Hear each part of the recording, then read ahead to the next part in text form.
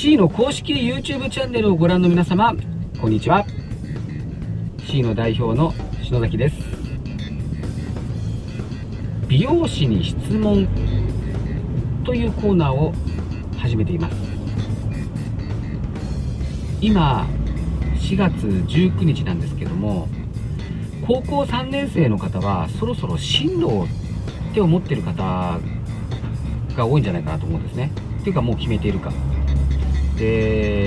まあ大学に進学とかっていう子ではなくてやっぱり将来を見据えてその将来のためになる専門学校へ行こうっていう子もたくさんいると思うんです。そして美容師の専門学校美容師になりたい美容師の専門学校行きたいって思ってる方もいると思うんですね。しかし家庭事情とかそういったもので美容の専門学校に行くのが非常に難しいっていう子も多いと思うんです。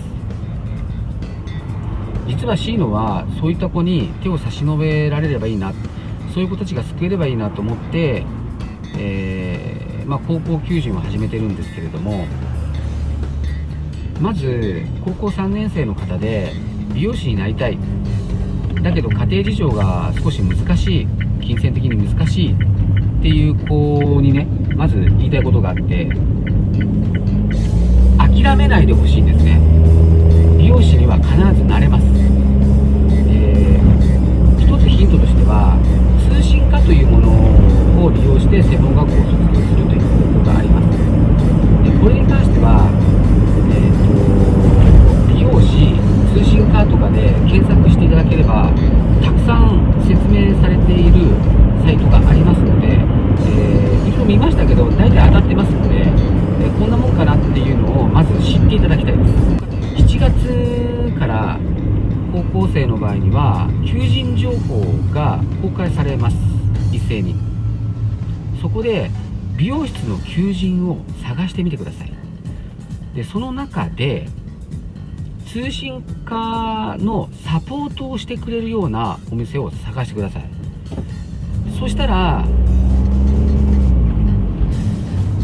必ず道は開けるはず。C のも実はそういったのをやってるんですけれどもやはり、えー、昨年もですね、えーとまあ、家庭事情で専門学校には行けないけれども美容師になりたいっていう子があの結構見学に来ていただいたんですね、まあ、うまくいくこともあるしうまくいかないこともあるんですけれども今